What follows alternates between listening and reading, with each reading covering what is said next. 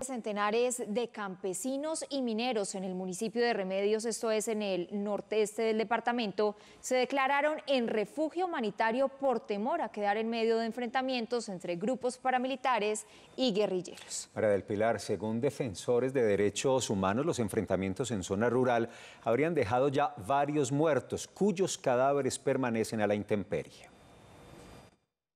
Hasta la vereda El Carmen del municipio de Remedios han llegado aproximadamente 500 personas que se han declarado en refugio humanitario permanente hasta que cesen los combates entre integrantes del ELN y las disidencias de las FARC con miembros de las AGC y haya mayor presencia en la zona de las autoridades.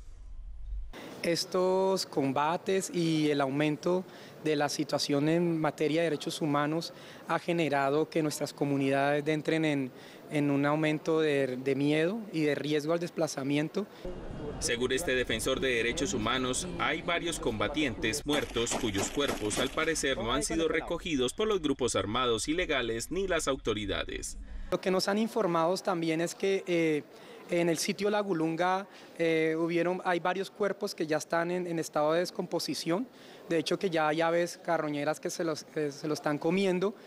Y prendemos las alertas aquí porque eh, hasta el momento eh, desconocemos si estos cuerpos ya han sido levantados por, por la institucionalidad. Estas comunidades piden que se respete el derecho internacional humanitario, que haya seguimiento y acompañamiento internacional y que no se les incluya en el conflicto.